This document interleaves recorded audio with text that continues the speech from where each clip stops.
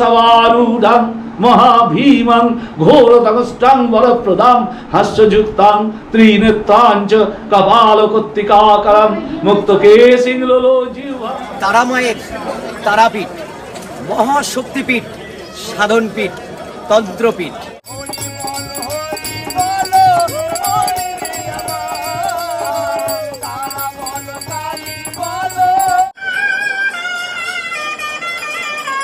সবাই লাইনে দাঁড়িয়েছিল এই হচ্ছে লাইন।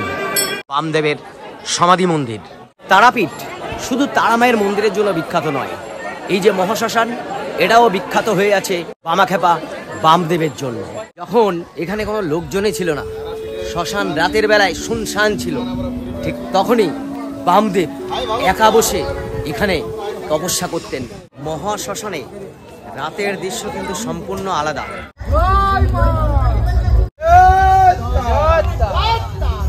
তারাপীঠ আপনারা কি করে আসবেন? কোথায় থাকবেন? খাওয়া দাওয়া কোথায় করবেন? পুজো কীভাবে দিতে হবে?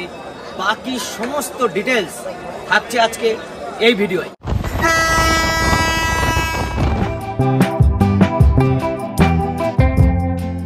তারাপীঠ আসতে হলে শিয়ালদা কিংবা হাওড়া থেকে ট্রেনে করে নামতে হবে রামপুরহাটে। সেখান থেকে টোটো বা অটো করে পৌঁছাতে হবে তারাপীঠে।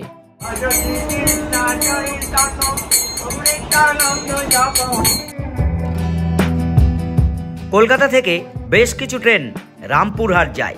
তার মধ্যে হাওড়া থেকে গণদেবতা কুলিক এবং কবিগুরু এক্সপ্রেস ধরুন আর শিয়ালদা থেকে কাঞ্চনজঙ্ঘা এক্সপ্রেস কিংবা মা তারা এক্সপ্রেস ধরে রামপুরহাট গেলে ভালো হবে। এইসব ট্রেনের ভাড়া একশো সত্তর টাকা এবং সময় লাগবে প্রায় চার ঘণ্টা।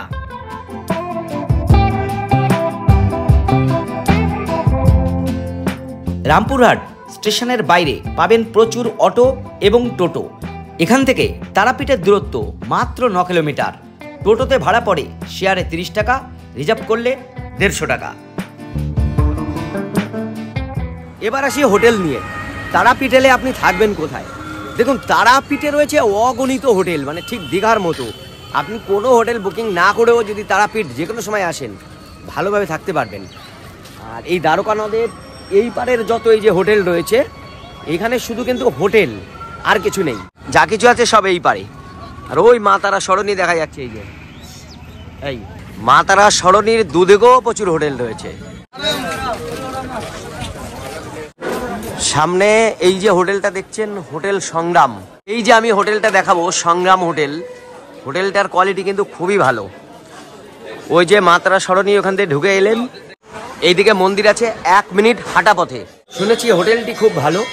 চলুন ভেতরে গিয়ে আপনাদের রুম দেখাই। হোটেল সংগ্রাম। তো এইখানে আপনাদের রুম ভাড়া সব থেকে কম কততে পাওয়া যাবে? আমাদের রুম ভাড়া আপনি হাজার টাকা থেকে শুরু হচ্ছে। আচ্ছা। আপনার বারোশো রেন্টের আছে হ্যাঁ। তেরোশো পঞ্চাশ রেন্টের আছে চোদ্দোশো আছে পনেরোশো আছে। পাঁচশো টাকা এসিতে বেশি। এসি করিডর এবং তার ফ্লোর দেখলেই আপনারা বুঝতে পারবেন যে হোটেলের কোয়ালিটি কি হতে পারে আর কি। আমি একটা রুমে ঢুকছি, দুশো আট নম্বর রুম আচ্ছা ঢুকে প্রথমেই আমি আপনাদের দেখাবো বেড এই যে বেড রয়েছে, অনেক বড় বেড এই বেডে আপনারা তিনজন থাকতে পারবেন। এই ওয়াল দেখুন এসি আছে। আচ্ছা সামনে অড্রপ তার সামনে রয়েছে ড্রেসিং টেবিল এখানে সোফা এবং তার সামনে একটা টেবিল রয়েছে। অনেকটা বড় কিন্তু অনেকটা বড় পরিষ্কার পরিচ্ছন্ন। এদিকে রয়েছে টিভি আচ্ছা এই রুমের ভাড়া কত আছে? এই রুমটা আমার হাজার টাকা ভাড়া আছে। এটা এসি নিলে আমার পাঁচশো টাকা তখন প্লাস হয়ে যাবে। টয়লেট পরিষ্কার পরিচ্ছন্ন। গিজার আছে এবং গিজার কিন্তু রানিং চলবে। আর একটা রুম দেখিয়ে দিই আপনাদের। এটা দুশো সাত নম্বর রুম এই রুমের কিন্তু আকার আকৃতি অনেকটা। এবং কোয়ালিটিও কিন্তু অনেক বেশি। ভালো বলা যায় এটাই এখানকার ওয়ার্ড্রোব ড্রেসিং টেবিল এই হচ্ছে বেড বেডের সাইজটা কিন্তু একই আছে। এই রুমের ভাড়া কেমন আছে? বারোশো টাকা। এটাও একটু বড় আছে এবং এই রুমের সাইজটা অনেকটা বড়। আচ্ছা টয়লেটটা একই রকম আছে। দুশো পাঁচ নম্বর রুম দেখাবো হোটেল সংগ্রামের। ওরে বাপরে তো হল ঘরে ঢুকলাম মনে হলো আমি। হ্যাঁ? বিরাট বড় এরিয়া। ও সত্যি অসাধারণ। দেখুন। পরপর দুটো, ছয়, সাত বেড রয়েছে। মানে তিন তিন, ছজন থাকতে পারবেন এই রুমে। এসি নিলে আপনার কলগেট, বিরাজ হ্যান্ড ওয়াশ সাবান, সবকিছু আমরা এর মধ্যে দিয়ে থাকি। আচ্ছা। এমনকি হাফ লিটারের চারটে জলও দিয়ে থাকি যার জন্য এক্সট্রা কোনো চার্জ লাগে না আমাদের। তো এই রুমের ভাড়া কত নিচ্ছে? রুমে আপনার two thousand five hundred non AC. AC নিলে আপনার তিন হাজার টাকা পড়বে। তিন হাজার। আর খাওয়ার জন্য তো আপনাদের নিজস্ব রেস্টুরেন্ট রয়েছে। রেস্টুরেন্ট আছে। আমার ভালো লেগেছে এই জায়গাটা এবং এই হোটেল ওনাদের আচার ব্যবহার কিন্তু আমাদের খুব ভালো লেগেছে। হোটেল সংগ্রামের এটা হচ্ছে রেস্টুরেন্ট রেস্টুরেন্টটা দেখেছেন? কোয়ালিটি কিন্তু যথেষ্ট ভালো।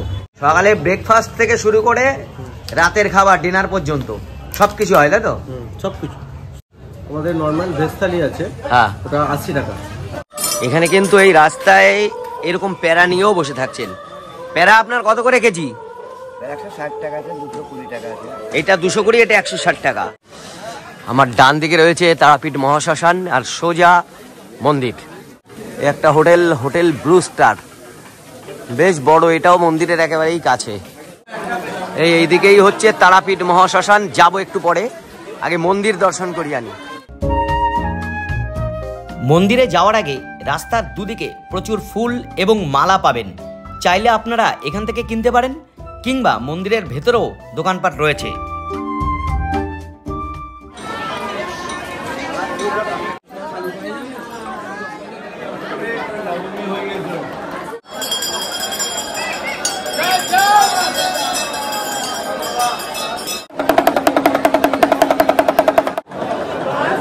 পুজো দেওয়ার ভিড়টা দেখুন কীরকম।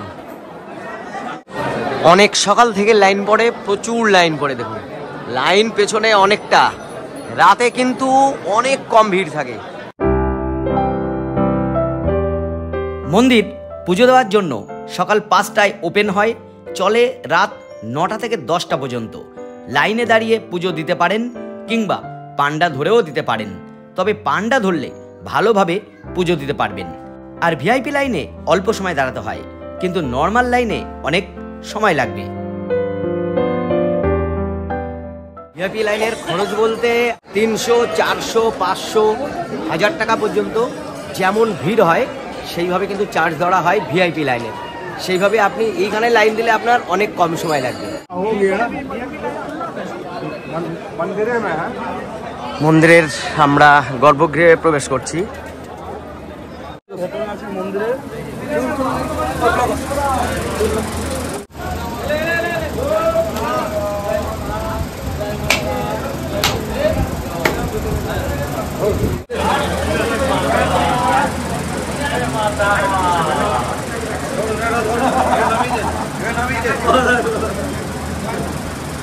মন্দিরের ভেতরে তারা মায়ের যে মূর্তি আপনারা দেখেন ধাতব মূর্তি ওর মধ্যেই রয়েছে কিন্তু আসল শিলামূর্তি। ওই শিলামূর্তির উপরেই ধাতব মূর্তিটা রয়েছে। আর আপনারা কিন্তু ওটাই দেখেন। ফুলমালা নিয়ে দাঁড়িয়েছে। কত করে ভাই নিচ্ছে এগুলো? হ্যাঁ? তিনটে কুড়ি টাকা। এইরকম তিনটে কুড়ি টাকা? যজ্ঞর জন্য সব সাজানো হচ্ছে এখানে। সব যজ্ঞের তাই তো? নাট মন্দিরের ঠিক এদিকে রয়েছে পরপর আরও ছোট ছোট কয়েকটা মন্দির। দেখাই।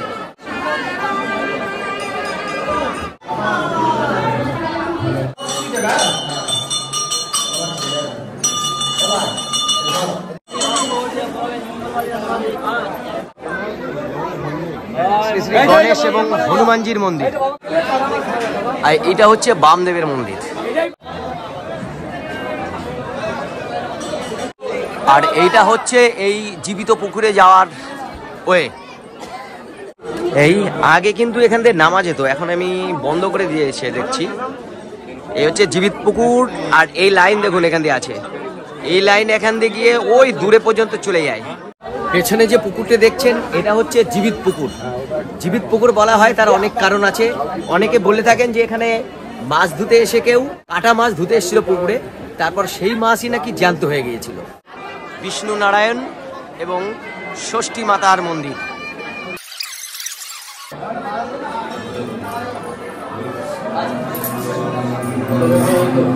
এখানে পাঠাবলি চলছে।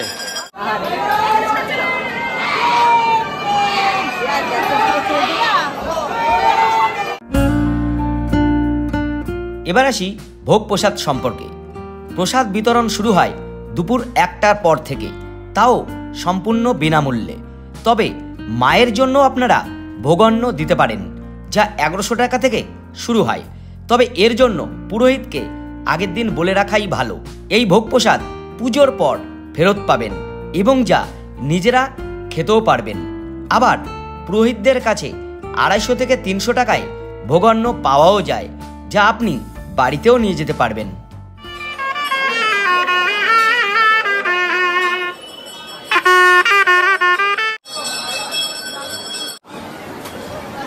তৈরি হচ্ছে কিন্তু এই মাটির হাড়ির জায়গা। তারাপীঠের কিন্তু এটা বিখ্যাত। মানে তারাপীঠের আশপাশে আপনি যেখানেই যাবেন, আর মন্দিরের পাশে তো আছেই। টেস্টই আলাদা। তারাপীঠ মন্দিরের পাশাপাশি তারাপীঠ মহাশ্মশান কিন্তু অন্যতম জায়গা করে নিয়েছে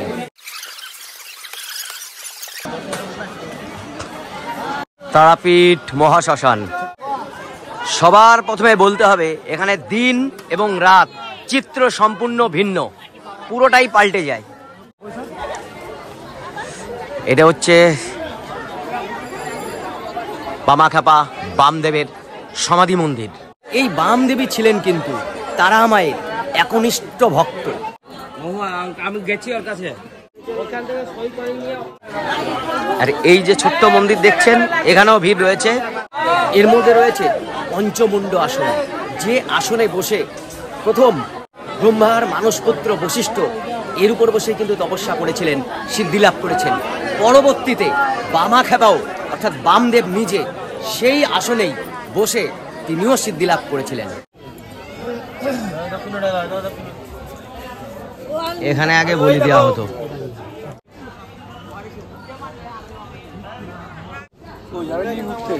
কোথায়? তোমার টোটো করে মানে বীরচন্দ্রপুর শুধু ঘুরে দেখাবে তিনশো টাকা। আর আটলা যাবে না? চারশো টাকায় সব ঘুরিয়ে দেখাবে।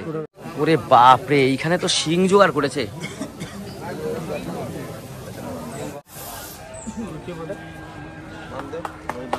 সামনে যে বেদিটা দেখছেন, এখানেই কিন্তু বামদেব নিজে শিয়াল এবং কুকুরদের খাবার দিতেন। মা সরণীর এইদিকে রয়েছে ভারত সেবাশ্রম সংঘ। আপনারা যদি খুব কমে থাকতে চান তাহলে ভারত সেবাশ্রম সঙ্গে গিয়ে থাকতে পারেন। আর খাওয়ার জন্য আমি এই আশুতোষ লজে খাই। এই যে। গরম গরম সব হচ্ছে এই আমার সকালে ব্রেকফাস্ট পুরি সবজি এটাই কমন আর কি এখানকার। এরকম চার পিস পুরি এবং তার সঙ্গে সবজি মানে ঘুগনি দিয়েছে বা সবজি দাম হচ্ছে মাত্র তিরিশ টাকা। অনেক তো হলো। এবার তারাপীঠ এসে তারাপীঠ ঘুরে দেখার কি কি আছে? চলুন এবার সেগুলো আমরা এক এক করে ঘুরে দেখি। আর এই যে আপনারা অটো টোটো কোথায় বুক করবেন এই যে এই সমস্ত জায়গায় কিন্তু প্রচুর আছে। এ দেখেছেন? ও অটোতে কত নেন সব ঘুরতে? কোথায় আপনি বলুন বীরচন্দ্রপুর। আর হ্যাঁ? পাঁচশো টাকা। ছোট গাড়ি। আর যদি নলহাটি করা হয় একসঙ্গে? করবে হাজার টাকায়। সব হয়ে যাবে। এইদিকে ম্যাজিক এবং অন্যান্য গাড়িও রয়েছে এই যে ম্যাজিক। তো ম্যাজিকে এই পয়েন্টগুলো ঘুরে দেখতে কত নেন? মানে নৌকালে আপনার হাজার টাকা। নলাটেশ্বরী গেলে? নলাটেশ্বরী গেলে আরও ছশো টাকা এক্সট্রা তাহলে ষোলোশো টাকায়। আর যদি ম্যাজিকে ঘুরতে চান তাহলে একসঙ্গে বারো থেকে চোদ্দ জন যেতে পারবেন। তারাপীঠ থেকে বীরচন্দ্রপুর। দূরত্ব প্রায় ন কিলোমিটার। টোটোতে সময় লাগবে কুড়ি থেকে তিরিশ মিনিট। হ্যাঁ গ্রামে এসে পড়লাম বীরচন্দ্রপুর গ্রাম। তারাপীঠে যারা আসেন, এই বীরচন্দ্রপুর গ্রাম কিন্তু সবাই ঘুরে দেখে। প্রথমেই দেখবেন ইস্কন মন্দির। প্রভু বাঁকা রায়ের মন্দির, সিংহদুয়ার এটা।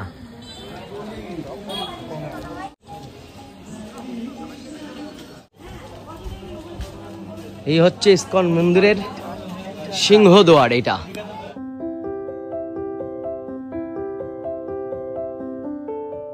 মন্দিরের অভ্যন্তরে রয়েছে শ্রী জগন্নাথ বলরাম এবং সুভদ্রার মূর্তি। এটা পুরী মন্দিরের অনুকরণেই তৈরি। আর ইস্কন মন্দির থেকে বাহাতে আর একটু এদিকে চলে গেলে বাঁকারায়ের মন্দির পেয়ে যাবেন। মন্দির দেখা যাচ্ছে। জয় জয় জয় জয়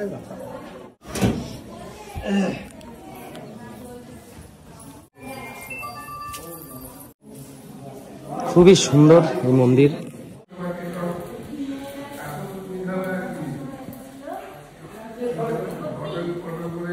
মানে আমাকে এক কথায় যদি বলতে হয় বীরচন্দ্রপুর হচ্ছে মন্দির গ্রাম। অনেক রকম অনেকগুলো মন্দির এই গ্রামের মধ্যে রয়েছে। যাই হোক এখানে আপনারা আসবেন ভালো লাগবে।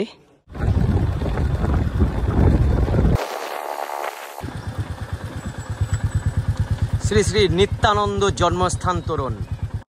ইস্কন এক চক্র মন্দিরে এখন চলে এলাম।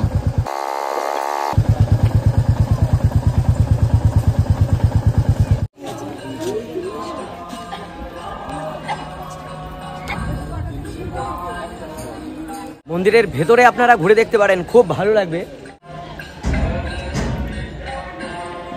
এই যে এখানে প্রসাদের কুপন আপনারা কাটতে পারবেন। কুপন হচ্ছে সত্তর টাকা এছাড়া একশো পঁচিশ টাকায়ও কুপন আছে।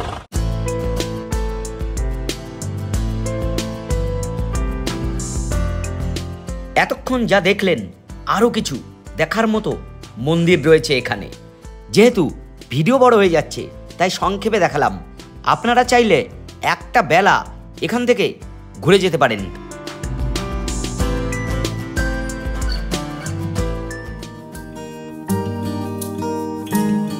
এবার রওনা হলাম আটলা, বামদেবের জন্মভিটে। তারাপীঠ থেকে দু কিলোমিটার দূরে যার অবস্থান। রাতের বেলা এসে পৌঁছালাম আটলা গ্রামে। এখানে এসে গতবারের মতো একই অবস্থা আমি দেখছি। এইদিকেও অনেকগুলো আছে কোনটা বাবার জন্মস্থান সঠিকভাবে কিন্তু ঠিকমতো বলাও যায় না। শরিক হিসাবে বাবাকে এইভাবে কীভাবে ভাগ করে নিয়েছেন জানি না। প্রত্যেকেই বলেন যে এটাই বাবার আসল জন্মস্থান।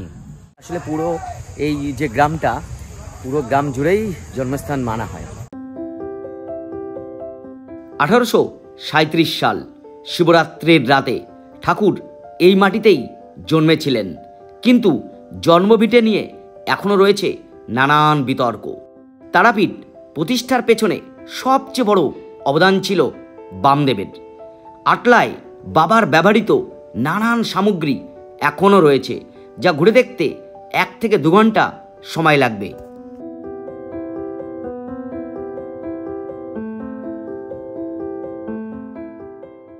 রাতে এলাম, আপনারা দিনের বেলায় আসবেন এই গ্রামে। কারণ এখানকার বাড়ি ঘরের যে শেপগুলো না, ওগুলো ঠিক অন্য ধরনের। ভালো লাগবে। এই- যে বিল্ডিংটা, এইটাই হচ্ছে ভারত সেবাশ্রম সংঘ। এখানে রয়েছে প্রচুর রুম, অনেক রুম রয়েছে।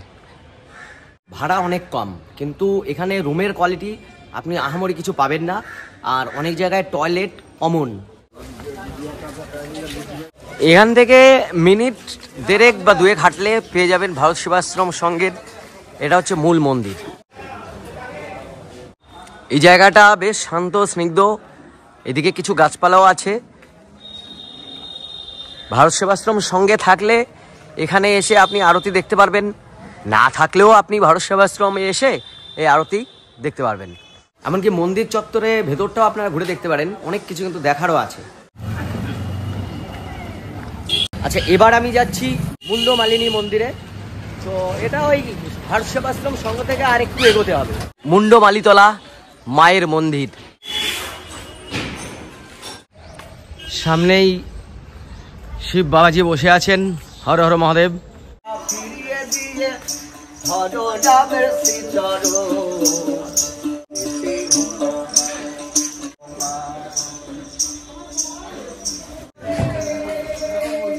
আর এখানে রয়েছে ঘাট।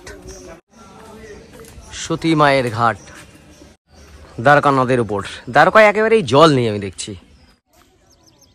মুন্ডমালিনী তলা এবং সামনে দ্বারকা নদ। দ্বারকা নদে কোনো জলই নেই এখন দেখছি। রান্না করে খাওয়াবে এই দেখুন রান্না হচ্ছে তারাপীঠে।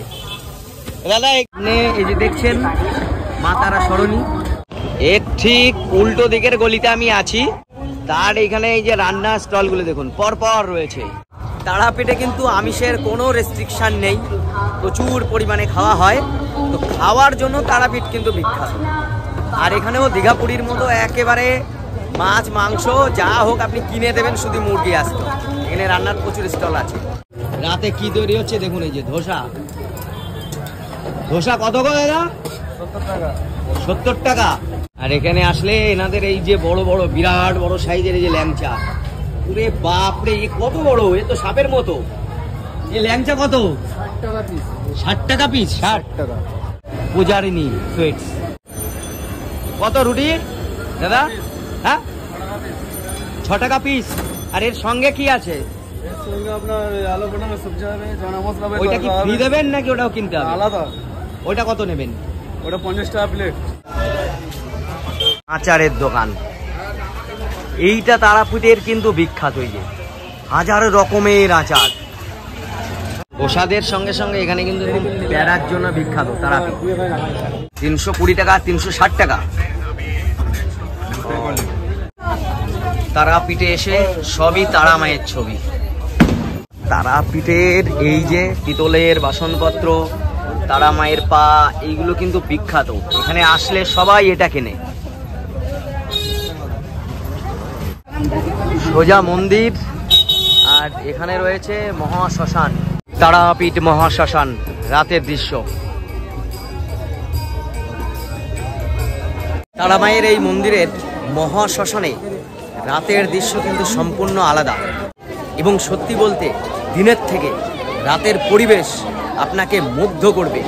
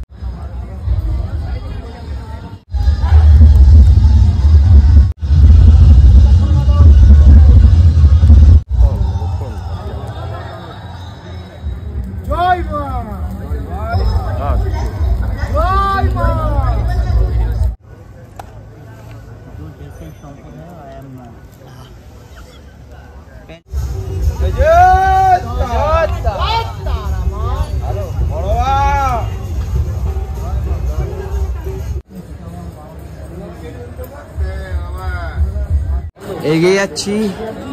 রাতে তারা মায়ের মন্দির কেমন পরিবেশ তৈরি হয়? দেখি আনি প্রসাদ বিতরণ হচ্ছে।